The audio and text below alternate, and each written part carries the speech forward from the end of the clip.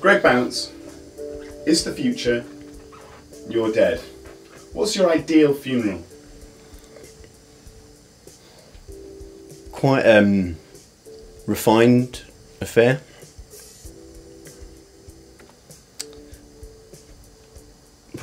Probably some Sinatra. Frank. Yeah, Frank Frank Sinatra. Chips and dips. Um, What dips?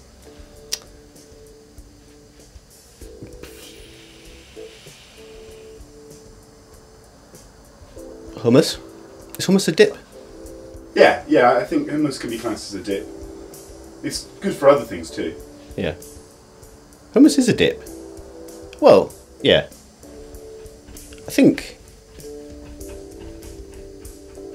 What's that?